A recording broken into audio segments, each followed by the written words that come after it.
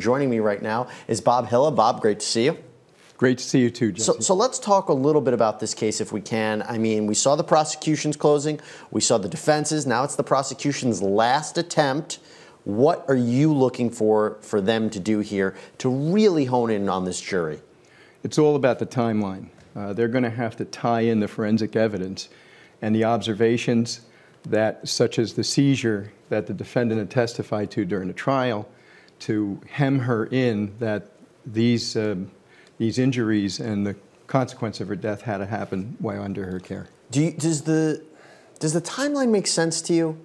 I mean, what do you think really happened? Do you think that the prosecution is establishing a strong enough idea here that she, that the defendant was physically abusing this girl on the day in question, the days before? I mean, I think we're still trying to understand exactly how this happened.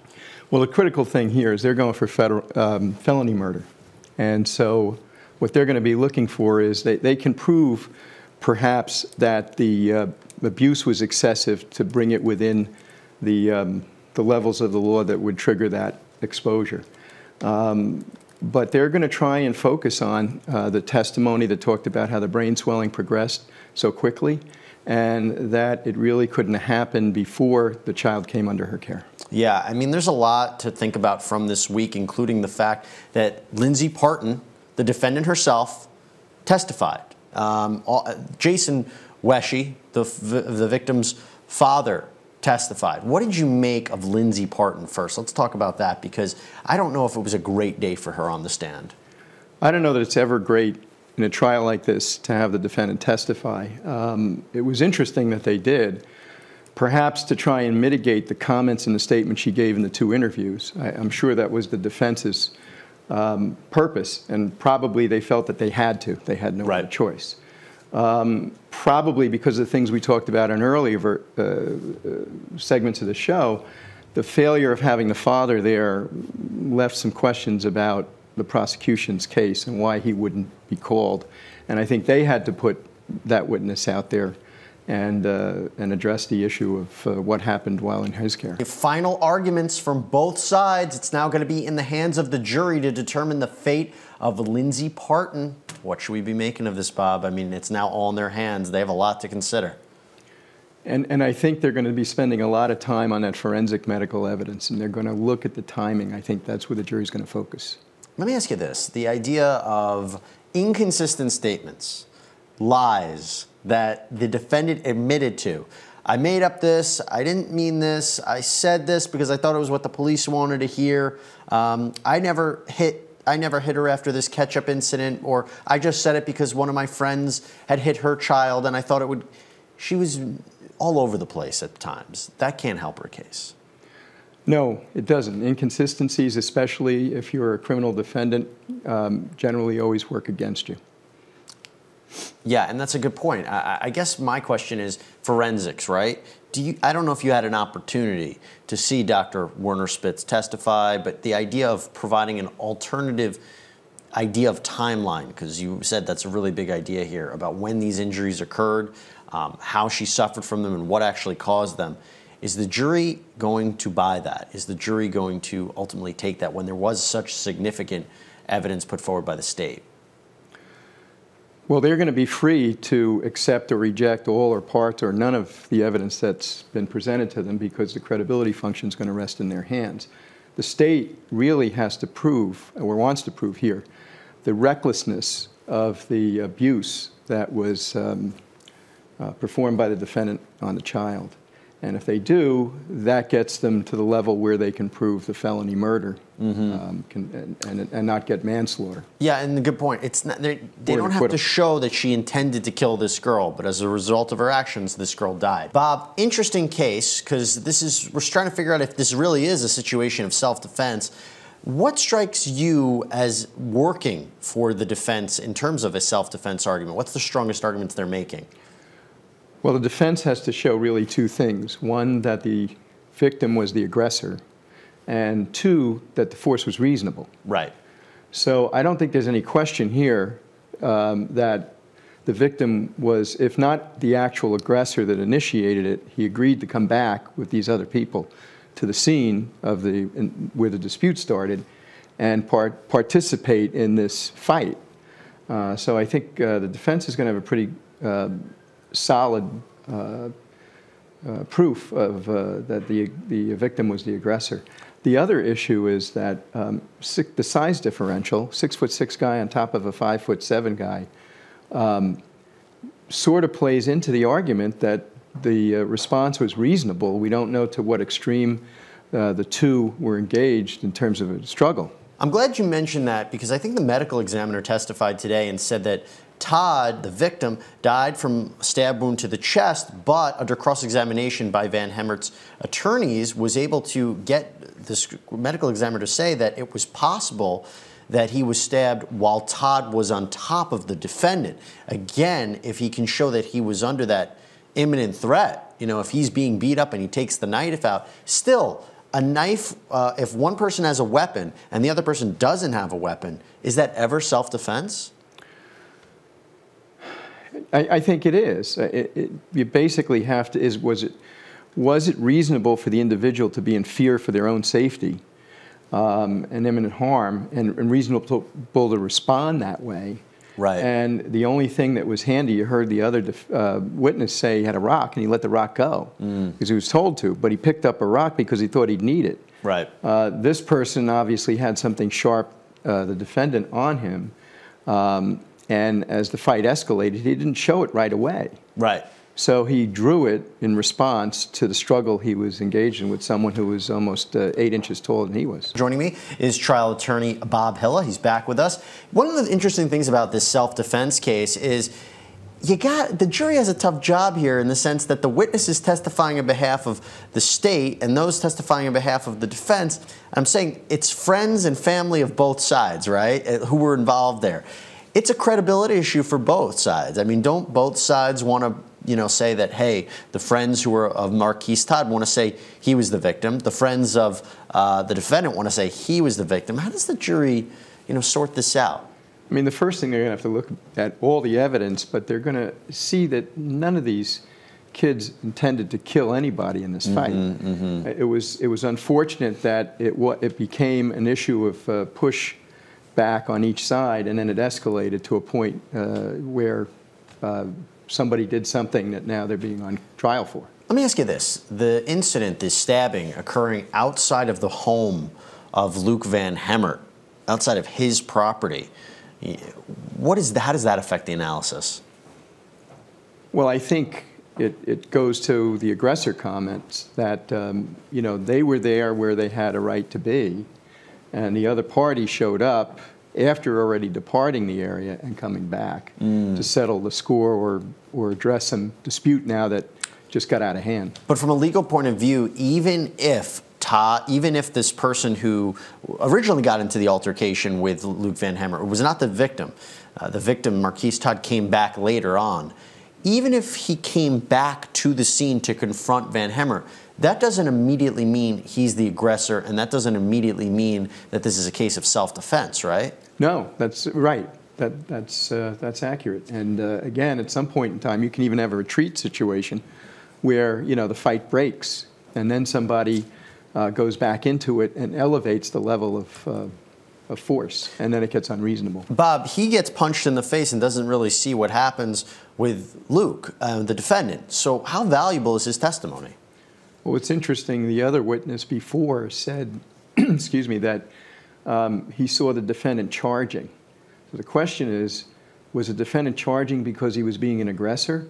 Or did the defendant charge when he saw his friend punched in the face and was trying to come to his aid, and then that just escalated the fight? That's a good point. Just to tell everybody, this was outside of Luke Van Hemert's home. When you hear Stan or Stanley, that's the defendant's father. This all happened right there. The question is, is you know, we're trying to understand who was the actual aggressor and what happened. Are you getting a clearer sense based upon these witnesses what happened? I, I think from looking at the witnesses, and, and I would suspect that the trial's going to go this way, is that it was a melee. You know, yeah. You had somebody pulled the trigger on somebody else's um, emotions or anger, and then it got physical, and then it just kept escalating, and then it got out of hand. And when it's so chaotic, who knows what's actually happening? Let me just ask you this real quick he lost his bid to get this as a stand your ground case. So, for in other words, the defendant went to a judge, said, I want immunity, stand your ground. This is the same kind of thing that it is in Florida. The judge denied that. Why did the judge deny that? My understanding is that the judge denied that um, because um, he felt there was no hearing requirement or procedural requirement in the law itself. Uh, it also didn't say what standard he needed to do uh, to apply in that case, a re- reasonable doubt standard, clear and convincing standard, like they do in some cases with insanity defenses, Sure. or, or a preponderance standard, which means when you just have the scales of justice and the evidence weighs a little bit more in favor of somebody else, they win on that issue.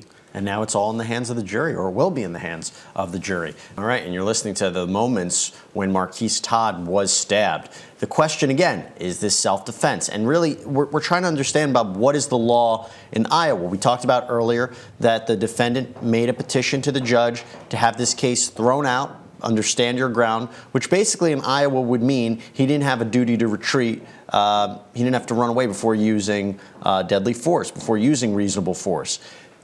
But what is this case? What's the central issue? That he had to stay in his home? Is it that he shouldn't have used a knife when getting into a fist fight? I mean, can you break it down for us? I think what this case is going to come down to, at least from what I'm seeing so far, is uh, whether the degree of force that was utilized here was necessary Sure. and re- reasonable, really, is what the. And of course, if he was reasonably in fear for his life or his physical safety, then he was entitled to use force necessary and, and equal to uh, not uh, to preventing the harm that was going to be caused uh, in the force that was used against him. So. It's an interesting argument because one way you could say, hey, he could have gone back into his house, called 911. Right. The other way is, well, if he had people right outside of his property, you know, he has a duty to protect himself and his family in there. What, what these stand your ground laws kind of do is they extend what the law looked at, for instance, in burglary cases, when somebody breaks in your home, and then you're not required to leave your home. You're, you're allowed to defend yourself and your home, um, but you need to do that reasonably. So if you strike somebody and you Sure. render them immobile, uh, then you call the police, that's reasonable force. Um, but if uh, you strike someone, they're immobile, and then you take out a gun, you shoot them while they're laying on the ground, that's not reasonable. Bob, let me ask you this. Did the defense do an adequate job of putting the blame on Hannah's father, Jason Wesche? I think in the segment we just saw, they did a great job of that. Uh, they compressed the time frame when this child was in the care of the defendant, and of course, this whole case is going to be about whether the injury leading to the death occurred while in the care of the defendant. Now, the defendant doesn't have to cause the injury; the defendant also can contribute to the injury um, to still support a conviction. But if they don't believe that the injury was either um,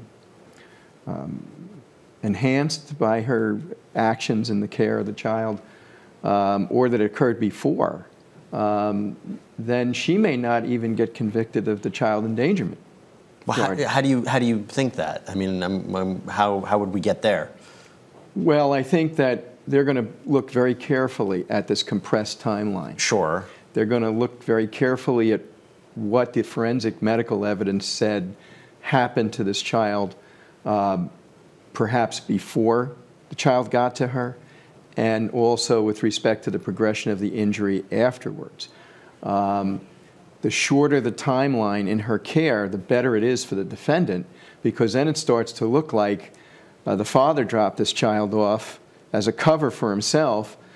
This child starts to go rapidly downhill. God knows what happened before then.